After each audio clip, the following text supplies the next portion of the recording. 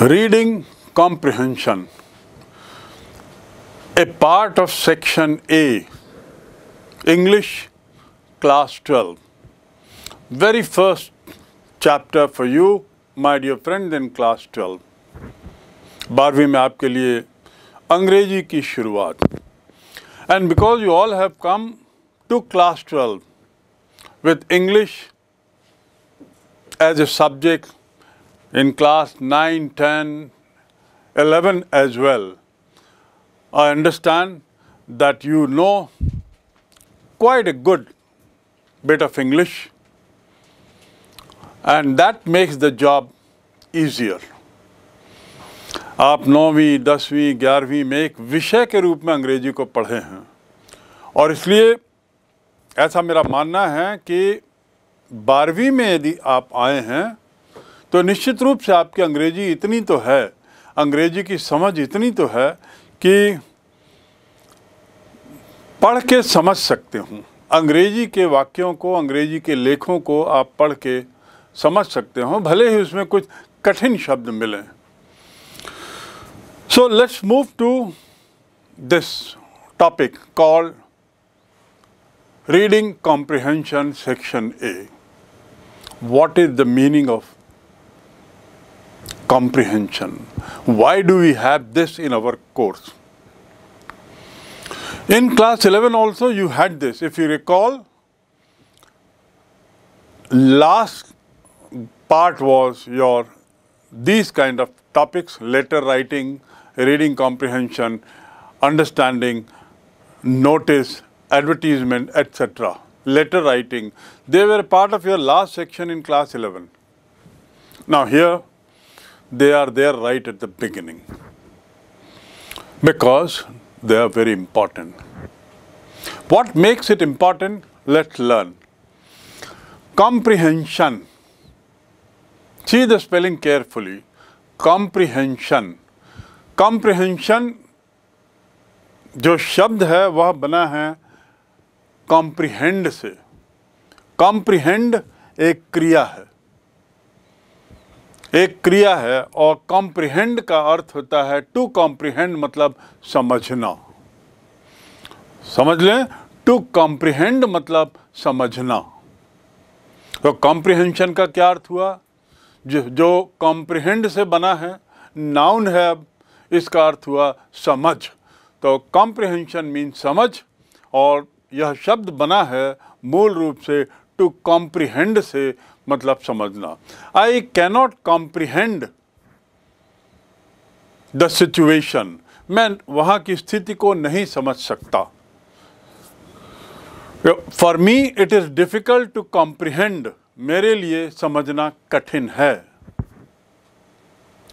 It is so easy to comprehend इस चीज़ को समझना बड़ा सरल है। This topic is easy to comprehend ये जो अध्याय है, ये जो चैप्टर है, समझने में बड़ा सरल है। तो कॉम्प्रिहेंड का अर्थ आप समझ गए कॉम्प्रिहेंशन का अर्थ भी अब आप समझ गए, और आपका जो विषय है, वह है रीडिंग कॉम्प्रिहेंशन यानी आपको पढ़ना है, कुछ चीज़ और समझ लानी है। आपको कुछ चीज़ पढ़नी है और उसकी समझ लानी है। You have to read something and you have to understand it to comprehend to understand समझना तो आपको कुछ समझना होगा। क्या समझना होगा? क्यों समझना होगा? रीडिंग कॉम्प्रिहेंशन आपके कोर्स में इसलिए है, क्योंकि ये बहुत महत्वपूर्ण है। सच्चाई तो ये है दैट रीडिंग कॉम्प्रिहेंशन जितने भी एग्जामिनेशंस होते हैं पब्लिक एग्ज़ाम चाहे वो आपकी बारहवीं का हो या मेडिकल के हों, या इंग्लिश का, या इंजीनियरिंग के एग्ज़ाम हो, या यूपीएससी हो पीएससी हो बैंकिंग हो रेलवे हो, जितने भी एग्जामिनेशंस होते हैं, ऐसे पब्लिक एग्जामिनेशंस जहाँ पे कंपटीशन के आधार पर सिलेक्शन होता है, वहाँ पर कॉम्प्रिहेंशन पर एक प्रश्न ज़रूर रहता है। और वो क्यों रहता है? वह आपकी समझ जानने के लिए। किस चीज़ की समझ जानने के लिए? अंग्रेज़ी की समझ जानने के लिए। आपका अंग्रेज़ी में कितनी समझ है, यह जानने के लिए रीडिंग कॉम्प्रिहेंशन पर प्रश्न रहते हैं। In order to know your understanding of English in order to know your depth in English comprehension is always a part of any public examination and in your scheme of things in your examination it carries about 20 marks आपका जो अंग्रेज़ी का blueprint है कक्षा बारहवीं का Chhattisgarh board का उसमें लगभग 20 नंबर हैं और कई बड़ी बड़ी परीक्षाओं में तो इसके लिए 60-60 नंबर रहते हैं तो it's a very important topic It's a very important part of your learning and it helps you to know how much you understand English इस प्रश्न के ये जो कॉम्प्रिहेंशन है, इस पर आधारित जब आप उत्तर देंगे तो उस उत्तर के आधार पर परीक्षा कि उत्तर पुस्तिकाएँ जांचने वाला समझ जाता है आपको अंग्रेज़ी कितनी आती है। So let's move to the next step after understanding the importance of comprehension comprehension में एक पैराग्राफ दो पैराग्राफ तीन पैराग्राफ रहता है। जैसा कि यहाँ पर आप, मैंने एक सैंपल पेपर लिया है। ये सैंपल पेपर सन 2020-21 कि बोर्ड परीक्षा में बैठने वाले अभ्यर्थियों के लिए प्रैक्टिस टेस्ट के रूप में था। और ये C G dot dot in की जो वेबसाइट है उसमें सैंपल पेपर के रूप में अभी भी अपलोडेड है ताकि इच्छुक विद्यार्थी प्रैक्टिस कर सकें अभ्यास कर सकें। और यही सैंपल पेपर्स इस वर्ष के लिए भी उतने ही आ, उतने ही मायने रखते हैं जितना वे पिछले वर्ष रखते थे। They are as important this year as they were last year so there will be some lines few paragraphs of about thirty forty lines you have to read the paragraph इसमें करना क्या होता है? आपको पैराग्राफ के आधार पर आपसे कुछ प्रश्न पूछे जाएँगे। उन प्रश्नों के उत्तर आपको देना है। और जो उत्तर आप देंगे, वो आधारित रहेंगे इस पैराग्राफ पर ही। You have to answer questions given below the paragraph and the answers will come from this paragraph only ये जो पैराग्राफ दिया है, उसी के अंदर आंसर हैं। तो आपको प्रश्न पढ़ना है, उसके आंसर इस पैराग्राफ से खोजना है और आंसर को लिख देना है। Now the good thing about this system is that the answers are in this paragraph only. You don't have to apply your brain. And think of and start wondering about the answer. The answers are there in this paragraph only. Number one. Number two, the questions are very clear. It tells you कि आपको कितनी अक्षरों में लिखना कितने शब्दों में लिखना है It may be of 10 words, may be of one line, may be of three line, not more than that. They are either very short answer type और शॉर्ट टाइप और इवन ऑब्जेक्टिव टाइप तो इस प्रकार इसमें प्रश्न बड़े छोटे छोटे रहते हैं। In this sample paper you have twelve question and these twelve question you have to answer they carry about twenty marks और कुछ ऑब्जेक्टिव टाइप क्वेश्चन हैं, कुछ दूसरे तरीके क्वेश्चन हैं। तो let's start with this now the next thing that you have to know about reading comprehension is don't read the paragraph in the beginning ये कुछ टिप्स हैं। अब हम आते हैं रीडिंग कॉम्प्रिहेंशन के उत्तरों को सही तरीके से हल करने का तरीका। कम समय लगे और ज़्यादा से ज़्यादा हम उत्तर दे सकें। इसको हल करने के तरीके पर हम थोड़ा आते हैं। What are the tricks if you are a good reader if you love reading and if you are a fast reader then read this paragraph यदि आपको पढ़ना पसंद है, खूब पढ़ते हैं, अंग्रेज़ी को बहुत तेज़ी से पढ़ते हैं और समझते हैं तो निश्चित रूप से पहले एक बार बहुत तेज़ी से पैराग्राफ को पढ़ डालें। जब आप इस प्रश्न को हल करने बैठेंगे, तब। तो प्रश्न को हल करने से पूर्व एक बार तेज़ी से इसको पढ़ डालें लेकिन कौन लोग? Who will read it first those who may be very good in English who can read English very fast and who can who have good vocabulary जिनके पास अंग्रेज़ी शब्दों का बहुत भंडार है, जो इसके हर एक शब्द को समझते हों, वे लोग एक बार इसको पढ़ लें और उसके बाद प्रश्नों का हल करें।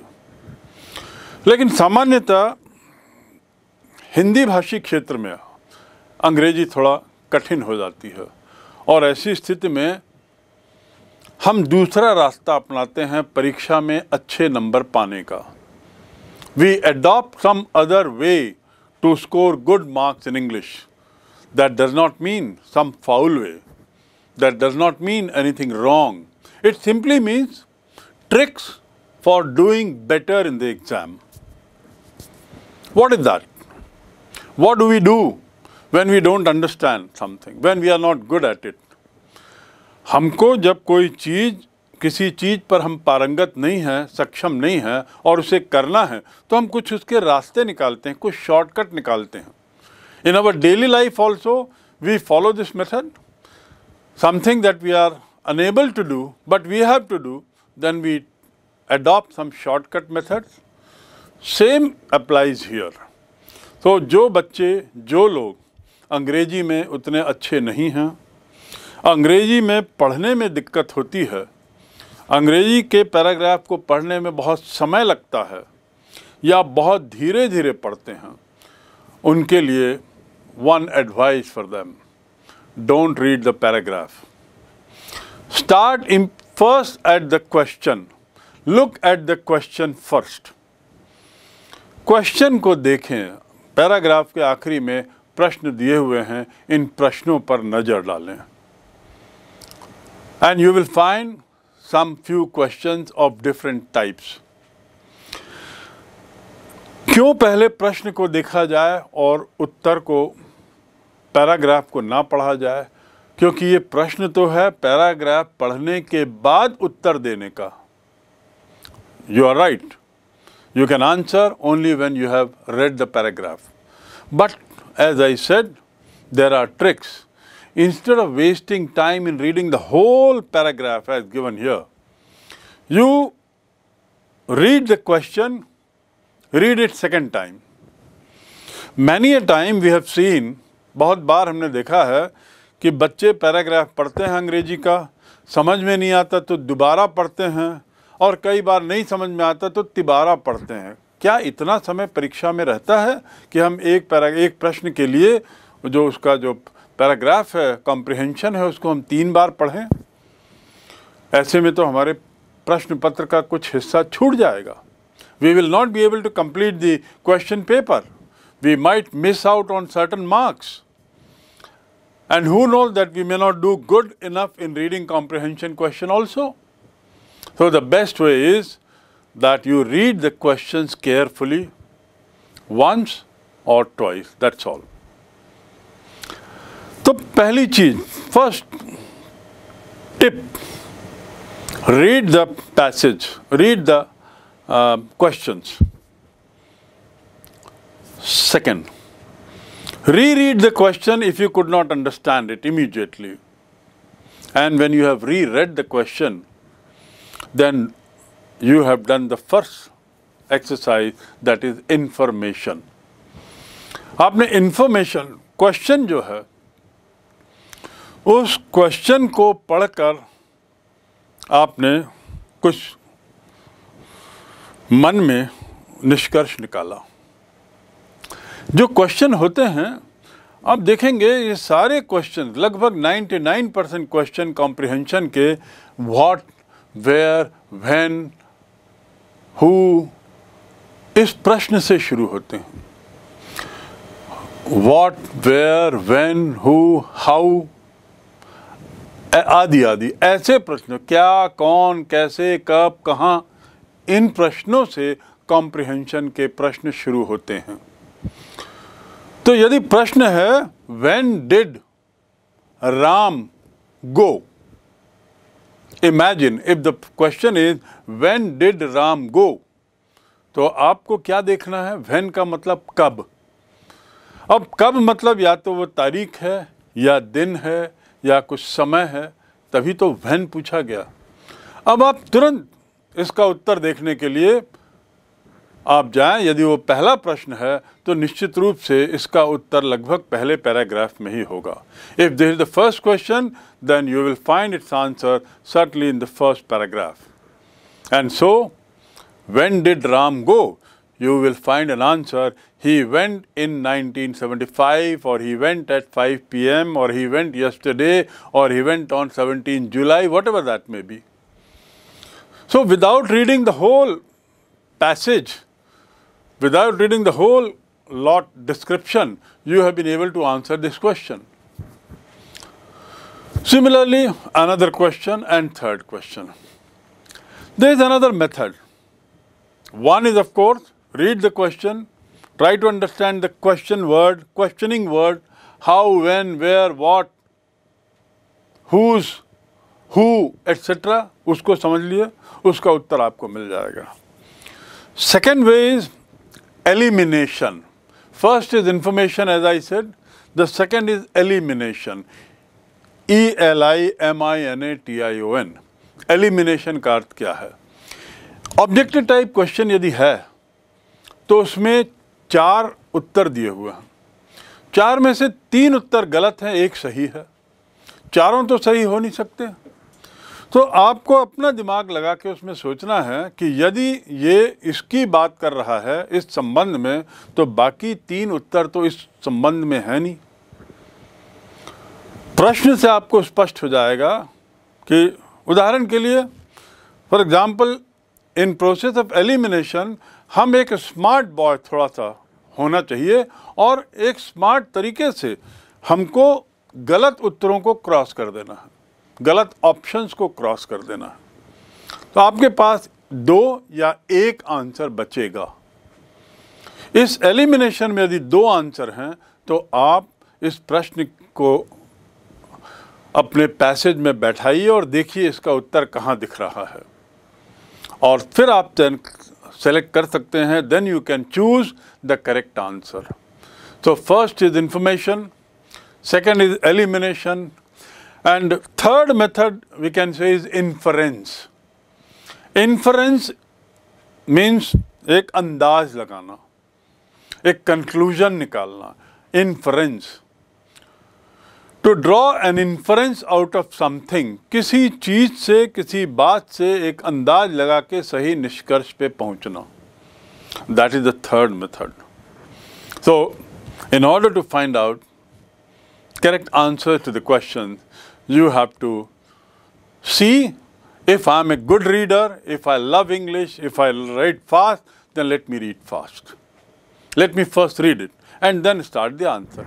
लेकिन सामान्यतया हम में से अधिकतर लोग अंग्रेज़ी में उतनी फास्ट नहीं पढ़ पाते समय बहुत लगता है समझने में भी बहुत समय लगता है और यदि ऐसा है तो हम सीधा प्रश्नों पर जाएँ और प्रश्न से उत्तर खोजें clear this is another thing ना the next thing that you have to understand is कि जो उत्तर जब आप पढ़ते हैं क्वेश्चन का उत्तर खोजने की कोशिश करते हैं तो प्रश्न यदि लिखा है, जो हम आगे करेंगे एक एक्सरसाइज एक पैराग्राफ हम निश्चित रूप से पढ़ेंगे और एक्सरसाइज करेंगे, प्रश्न जैसा लिखा है, एकाध शब्द को छोड़कर पूरा का पूरा प्रश्न उत्तर के रूप में पैराग्राफ में मिल जाता है।